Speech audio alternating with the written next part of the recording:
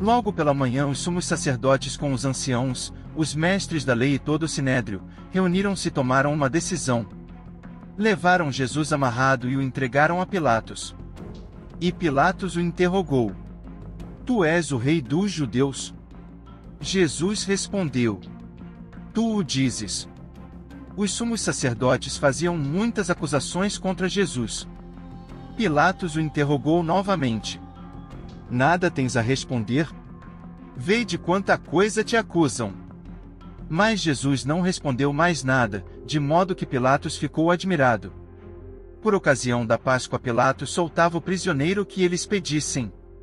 Havia então um preso, chamado Barrabás entre os bandidos, que numa revolta tinha cometido um assassinato. A multidão subiu a Pilatos e começou a pedir que ele fizesse como era costume. Pilatos perguntou: Vós quereis que eu solte o rei dos judeus? Ele bem sabia que os sumos sacerdotes haviam entregado Jesus por inveja. Porém, os sumos sacerdotes instigaram a multidão para que Pilatos lhe soltasse Barrabás. Pilatos perguntou de novo: Que quereis então que eu faça com o rei dos judeus? Mas eles tornaram a gritar: Crucifica-o! Pilatos perguntou: Mas, que mal ele fez? Eles, porém, gritaram com mais força: Crucifica-o! Pilatos, querendo satisfazer a multidão, soltou Barrabás, mandou flagelar Jesus e o entregou para ser crucificado. Então os soldados o levaram para dentro do palácio, isto é o pretório, e convocaram toda a tropa. Vestiram Jesus com um manto vermelho, teceram uma coroa de espinhos e a puseram em sua cabeça. E começaram a saudá-lo. Salve, Rei dos Judeus! Batiam-lhe na cabeça com uma vara. Cuspiam nele dobrando os joelhos, prostravam-se diante dele. Depois de zombarem de Jesus, tiraram-lhe o manto vermelho, vestiram-no de novo com suas próprias roupas e o levaram para fora a fim de crucificá-lo. Os soldados obrigaram um certo Simão de Cirene, pai de Alexandre e de Rufo que voltava do campo, a carregar a cruz. Levaram Jesus para o lugar chamado Gólgota, que quer dizer Calvário.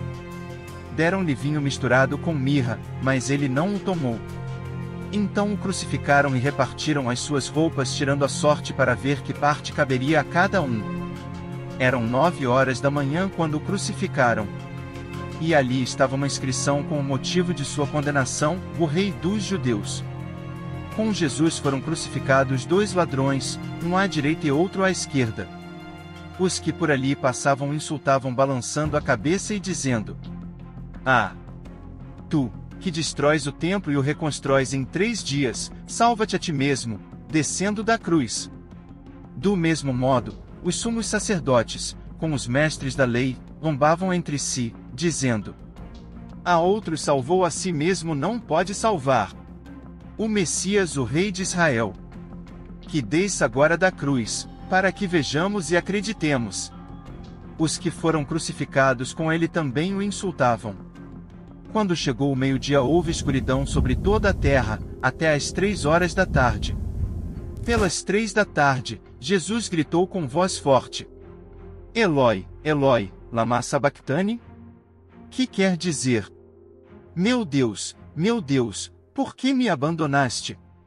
Alguns dos que estavam ali perto, ouvindo, disseram: Vejam, ele está chamando Elias. Alguém correu e embebeu uma esponja em vinagre e colocou-a na ponta de uma vara e lhe deu de beber, dizendo: Deixai. Vamos ver se Elias vem tirá-lo da cruz. Então Jesus deu um forte grito e expirou. Todos se ajoelham um instante. Nesse momento, a cortina do santuário rasgou-se de alto a baixo em duas partes. Quando o oficial do exército que estava bem em frente dele viu como Jesus havia expirado, disse: Na verdade, este homem era filho de Deus. Palavra da salvação.